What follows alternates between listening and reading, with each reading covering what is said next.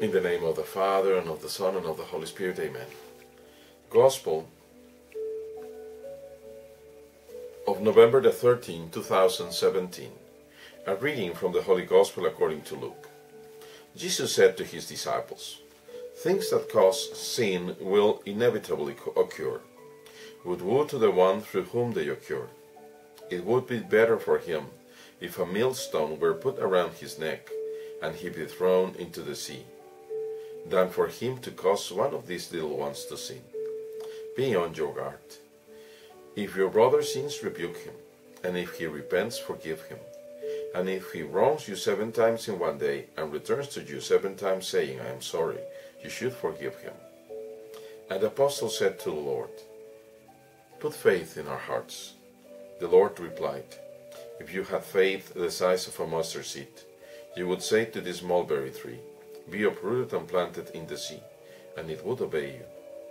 Gospel of the Lord, praise to you, Lord Jesus Christ. Well, it is necessary for us to ponder two points. Both of them are very grave and, and important. The first one is this one put faith within us. It doesn't say to increase our faith, it says put faith in us. Simply. That is why the answer of the Lord seems rather radical. If you have faith, at least the size of a mustard seed. The mustard seed is the smallest of all seeds. It's the smallest, it's really tiny. If you have faith this tiny, you could command a tree to uproot and plant itself on the sea, and it would happen. So thus we know that we do not have faith, neither them nor do we. For faith is not a knowledge, it's not an intellectual addition or adhesion.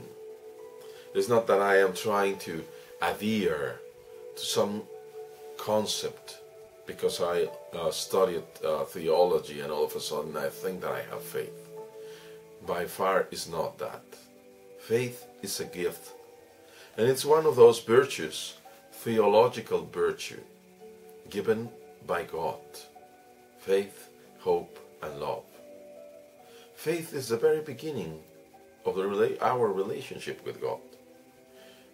And as much as it is a virtue that is a strength from God, it requires, absolutely requires that we accept it, that we don't reject it. Also, that we start living by it. But the second part, which is the part that is most important, is this. The Lord says, it is inevitable that scandal will, will occur. Scandal that produces people to sin. But then he says, Woe to the one that produces that scandal. It would be more profitable for him to disappear on the lake with a huge milestone around his neck than to produce that scandal. It would be better for him or her to not have been born. The reason being that his punishment is going to be great. Now, if it had been better for anyone not to live, not to be born, it is because only that his end will be worse than not living at all that is eternal death. And I can start to imagine all of those sick people in the presbytery that are pedophiles, that abuse minors and, and, and, and people. They are in this category. It would have been better for them never to be born, for their punishment is going to be terrible. And it's not something to rejoice about, but rather to be very sad, because that justice does not depend on any anything on the law. It depends solely in the justice of, of God, and it will happen, believe me. Otherwise, the Lord would have said, But because God loves you so much and He is so merciful, He will forgive you. No, He will not forgive you. especially if you continue to do so.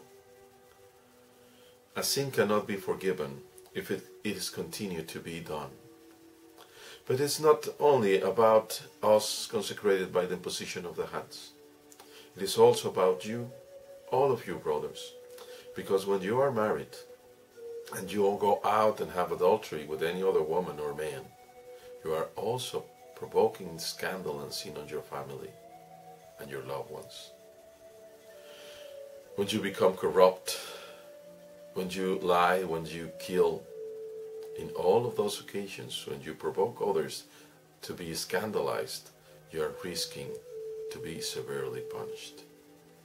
Let us pray to the dear brothers for all of them that might act in this very bad way. Let us pray that we might not fall into that ever, and if we ever fall or have fallen, to be granted the opportunity to repent and be transformed. May the Lord be with you, and the blessing of God Almighty, who is Father, Son, and Holy Spirit, descend on you and remain on you forever.